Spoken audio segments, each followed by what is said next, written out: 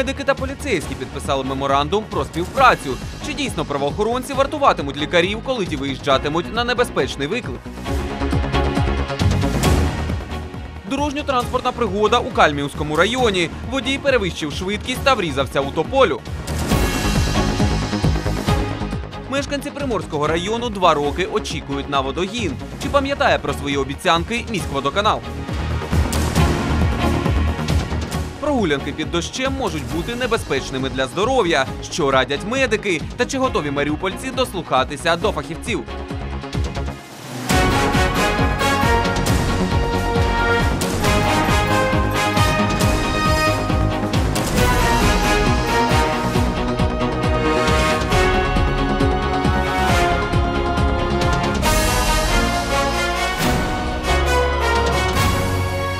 Вітаю вас у студії Максим Грабовський. Ви дивитесь інформаційну програму Дзеркало. Далі докладніше про останні події.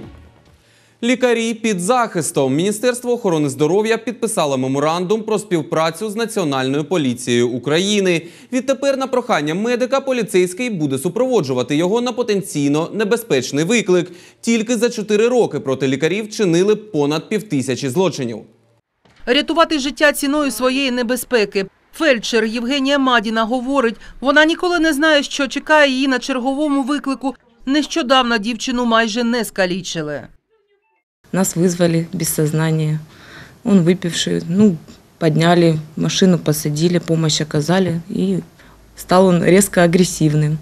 Вызвали полицию, ждали 40 минут в общественном месте, он кидался на всех людей. З фельдшером Євгенією обійшлося, а ось її колега у червні цього року постраждав. Фельдшер от- оказывал помощь э, больному, находящемуся в алкогольном и наркотическом опьянении. Получил удар кулаком в лицо, упал, ударился э, затылком об асфальт и долго находился с черепно-мозговой травмой на больничном листе. Щодня тільки центральна підстанція швидкої допомоги робить до 150 виїздів. Серед пацієнтів іноді зустрічаються галасливі, агресивні. Зазвичай це чоловіки в алкогольному або наркотичному стані, кажуть медпрацівники. Просим сотрудников полиции, э, чтобы они нам помогали, иногда сопровождали, чтобы оказывали посильную, ну и непосильную помощь, конечно же. Потому что наши медработники в данную минуту и в данный час беззащитны. Действительно, выезжают по одному фельдшера. Про те, що Міністерство охорони здоров'я та Нацполіція підписали меморандум про співпрацю, ані маріупольські лікарі, ані правоохоронці нічого не знають, жодних вимог і правил. Але в Маріуполі партнерство вже налагоджене. В цих випадках передається самими ж працівни- працівниками медичного закладу інформація на лінію 103, на лінію 102. І, по-перше, приїжджають працівники патрульної поліції, а вже за необхідністю приїжджає слідча оперативна група. Тільки за останні чотири роки проти українських лікарів вчинено майже 550 злочинів. Троє медиків померли. Проте правоохоронці впевнені, випадків нападів більше. Адже з легкими тілесними ушкодженнями медики не завжди звертаються до поліції. Олена Гнізділова, Віктор Зубенко. Інформаційна програма «Дзеркало». А ось водій Ауді про власну безпеку не подбав. Напередодні близько 19-ї години на проспекті Карпова трапилася дорожньо-транспортна пригода. На великій швидкості водій не впорався з керуванням та врізався в дерево. Чоловік був у машині один. Наразі він у лікарні. Водителя госпитализировала скорая в четвертую больницу. Ну, ну, с водителем, ну, в сознании был, все. Трезвый, нетрезвый, неизвестно. Неизвестно, неизвестно. Занимается уже следователь. Сьогодні вранці гаряче було і на вулиці Торговій. Близько шостої палав 148-й будинок. За версією власниці, пожежа почалася у курнику за домівкою. Потім вогонь перекинувся на її покрівлю. Внаслідок загоряння ніхто не постраждав. Мы вдвоем ушли, и никого там не было, и котов повыгоняли мы, когда уходили, мы выкидываем их. Я все проверяю, газ выключенный, все выключено, вот только холодильники были включены. Ані таксі, ані швидка. Через старий водогін по вулиці Криничній не їздять автівки. На гарячу лінію нашого телеканалу звернулися мешканці Приморського району. Майже щомісяця на їхній вулиці прориває водопровідну трубу. Комунальники ремонтують і, за словами жителів, уже два роки обіцяють її замінити. Скільки ще чекати маріупольцям, знає Валентина Чурікова. Вулиця Кринична, Приморський район. Асфальту на цій дорозі не було ніколи, розповідає родина Дорофєєвих. Не можуть покласти, бо останні два роки майже щомісяця тут прориває водопровідну трубу. Ями кожні півтора метри. Вулицею їздити неможливо. Таксі сюди не викликати. Если мы говорим э, улицу, куда нам нужно ехать, или район, они говорят, нет, нет, нет. Скорая помощь к нам не приезжает. По нашим дорогам не проехать, не развернуться здесь не- просто невозможно. Маріупольці зверталися до водоканалу ще у 2016 році. Розповідають, комунальники запропонували програму 50 на 50. Обладнання жителів – велика труба підприємства. Купили 150 метров трубы, отводы в каждый дом. Ну, там уже по месту остались еще деньги. Докупим трубы, ну, что во двор там уже вводить будет каждый себе, я так думаю. Чекають лише на комунальників. У міськводоканалі стверджують, про проблему дізналися торік. Пообіцяли, до кінця цього року водогін замінять. До 30 ноября наше предприятие заменит полностью водовод протяженностью где-то около 150-200 метров на пластиковый. Тот материал, который жители приобрели, мы совместно с ними берем это в работу, и то, что будет не доставать, мы своим материалом добавим для того, щоб повністю виконати заміну. Жителі мріють про облаштовану вулицю, заасфальтовану з новими електроопорами і комунікаціями. Та чи здійсниться мрія – поки питання. Валентина Чурікова, Нестор Бондаренко. Інформаційна програма «Дзеркало». Нагадаємо, всі сюжети цього випуску ви також можете подивитися на наших сторінках у Фейсбуці та Ютубі. А якщо хочете запропонувати власну тему, звертайтеся до нас за телефоном гарячої лінії 0800 600 108. Усі дзвінки у межах України безкоштовні.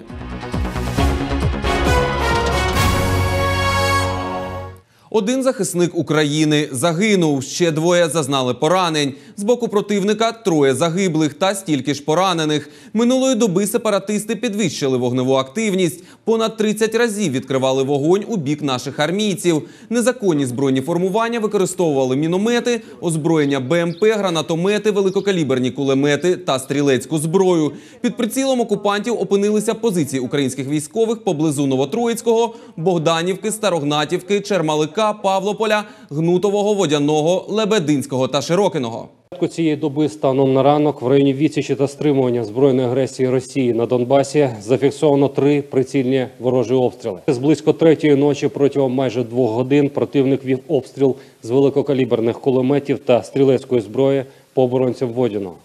З 7.30 окупанти випустили тут ще декілька мін калібру 82 мм. Маріуполь розшукує активних молодих людей. Наразі оголошено набір до четвертої муніципальної школи. Якщо ви бажаєте зв'язати свою подальшу кар'єру з роботою у міській раді, якщо ви маєте що запропонувати громаді, тоді уважно дивіться наш наступний сюжет. Наталія Губська – випускниця муніципальної школи. Ще у 2016 році вона пройшла інтенсивний курс навчання, тренінги та практику в одному з відділів міської ради. І тепер вона головний спеціаліст. Каже, саме завдяки муніципальній школі отримала посаду. Я пришла сюда, в городской совет, сразу после университета. У меня не было никакого опыта работы до этого. И, в принципе, я понимала, что найти работу без опыта в нашем мире, в наше время достаточно сложно. И я считаю, что муниципальная школа мне дала очень многое. Помимо знаний, наверное, связи еще с руководителями, которые на тот момент, получается, меня уже знали. Муніципальна школа – спільний проєкт Фонду розвитку Маріуполя та міської ради, створений, аби знайти активну молодь, яка прагне стати частиною єдиної команди молодих посадовців. Сейчас мы все видим, что в городе происходит очень много изменений, и мы понимаем, что эти изменения делают люди. Нам важны э, новые молодые лица, мол- молодые люди, которые готовы помогать э, нам в изменениях города.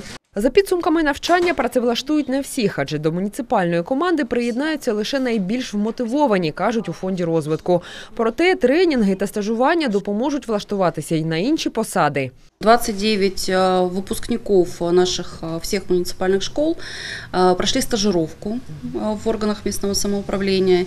Э, 14 человек э, э, работают Они, э, это, это их первое рабочее место, и они э, нашли возможность там работать. И еще э, семь человек были рекомендованы. Четверта муніципальна школа стартує вже 22 жовтня. Для того, щоб стати її студентом, потрібно зайти на сайт Фонду розвитку Маріуполя та заповнити анкету. Яна Маронченко, Артем Карабецький. Інформаційна програма «Дзеркало». Подвійне свято у будинках 7 та 17 на вулиці Куприна завершилася реалізація проєкту Затишний двір. Наразі мешканці двох будинків разом святкують 25-річчя двору.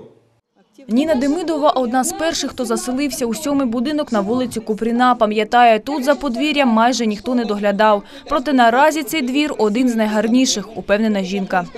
У меня внучка, мы выходим почти каждый вечер вот, играть здесь у нас на лавочках. И от дождя можно спра- э, спрятаться. С других домов к нам приходят играть дети, многие. Качели, песочек, все хорошо.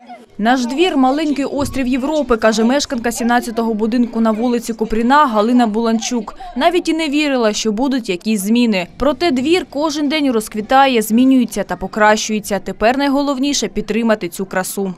Хотіла побажати всім, е, щоб вони доглядали двір, доглядали свої будинки не тільки всередині квартири свої, а те, що ми маємо навколо нас, тому що якщо ми виходимо на вулицю і бачимо красу, то ми стаємо добріші. Мешканці цих будинків об'єдналися в ОСББ три роки тому. За цей час реалізували декілька міні-проєктів. Замінили системи опалення, вікна та двері, зробили капітальний ремонт дахів, розповідає голова правління ОСББ Наталя Гавриленко. Зараз реалізували міні-проєкт «Затишний двір». За цю допомогу та підтримку Наталя Гавриленко висловлює подяку всім, хто долучився до змін. У меня есть большая поддержка.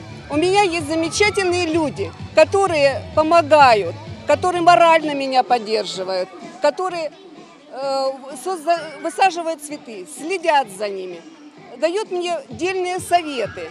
У благоустрою допомогли й у зеленому центрі Метінвест. Фахівці відремонтували входи в під'їзд та організували дитяче свято.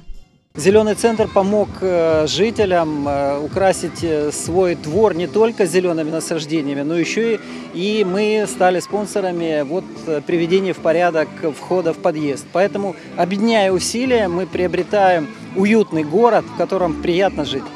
Жителі довели, вони не тільки дружні, але й талановиті. На святкування дня народження свого подвір'я сусіди підготували виставку малюнків та концертну програму. Анна Мальцева, Євген Ткаченко. Інформаційна програма «Дзеркало». За сумлінну працю та професіоналізм міський голова Вадим Бойченко відзначив господарників, які брали участь у підготовці до Дня міста. Серед нагороджених робітники Зеленбуду, автодору, комунальника, міськсвітла і трамвайно-тролейбусного управління. Большое вам спасибо за ваш труд, за ваше трудолюбие, за вашу любовь к нашему родному Мариуполю.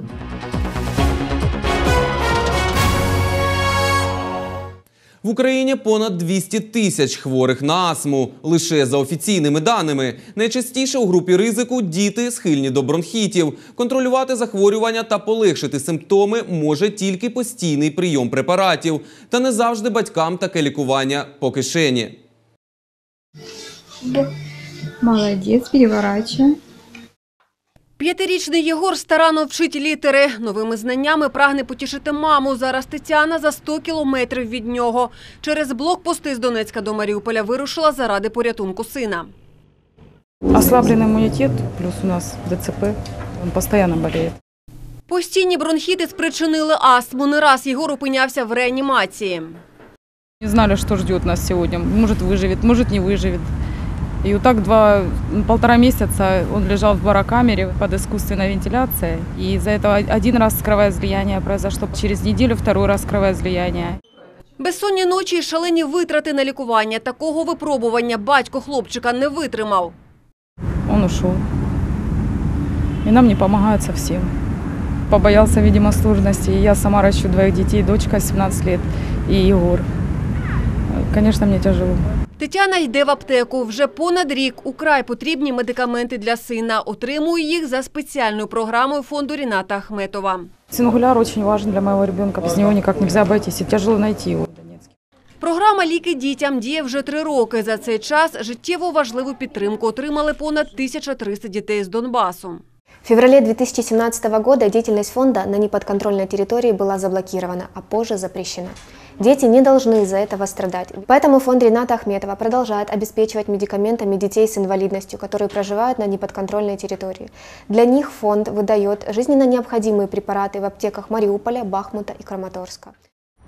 Поки автобус поїде, Тетяна ще має трохи часу. З пакетом ліків і відчуттям спокою жінка йде алеями парку. Хочу сказать большое, большое спасибо Ренату Леонидовичу за то, что он оказывает помощь нашим деткам. Я знаю, что он помогает не только деткам с бронхиальной астмой, но и другим детям. Большая благодарность ему, низкий поклон. Тим часом у Донецьку діти записують ще одно відео для матусі. А что это? Ты гараж делаешь, стоянку? Нет, это вышка авто. Автовышка?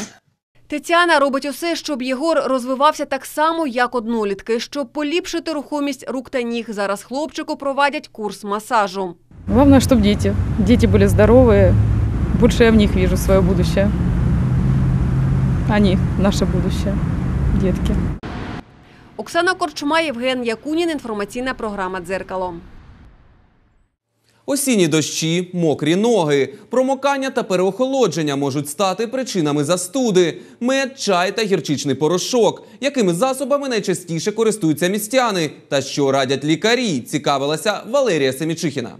Маріуполь охопила осіння негода, дощі, похолодання та застуда. Василя злива сьогодні не налякала. Хлопець говорить, якщо він її промакає, народним засобам все одно не довіряє. Если я еду, как- если я еду по каким-то делам, то меня это не останавливает. А если я рядом с домом, то переобуюсь просто и все. Не знаю, мама пытается мне за- заваривать какие-то чаи, там такое вот это вот, все вот эти процедуры. Я обычно отказываюсь от этого. А ось у інших містян є свої рецепти для зміцнення імунітету. Попарить ноги сразу, попарить ноги це в першу чергу. Просто теплою водою или растереть какой-то, говорити так, согревающей мазью. 50 грам водки, коньяка. І покушати гарячий горячий чай. і все И будет отлично. Лікарі наполягають, якщо ви намокли, залишатися у вологому одязі не можна у жодному разі. Це призведе до захворювань, тому насамперед, що треба зробити – зігрітися. растираемся, и капилляры сосуды раскрываются, и что идет кровоток? Идет прилив крови, человек согревается. Хорошо, теплая, горячая вода, опустить туда ноги. Можно опустить туда, бросить горчицу, можно бросить ромашку, чтобы было противовоспалительное. И где-то минут 5-10, чтобы ножки были в горячей воде. А Горячий чай – это, допустим, черный чай, он с кофеином больше, не зеленый, а здесь предпочтение отдастся черному чаю. А ось синоптики говорять, цього тижня радіти теплим дням та знімати куртки не варто. Похолодає. Э, Температура ночная будет 4-7 тепла, а днем около 15 градусов, 13-15 градусов. С этим циклоном мы ожидаем усиления днем ветра западного до 15-20 метров в секунду и возможен слабый э, дождик днем. Проте бабине літо все ж таки затримається, потеплішає наступного тижня. Валерія Семічихіна, Сергій Чакригін, Нестор Бондаренко. Інформаційна програма «Дзеркало». Це була остання інформація на сьогодні. Бережіть одне одного та дбайте про близьких.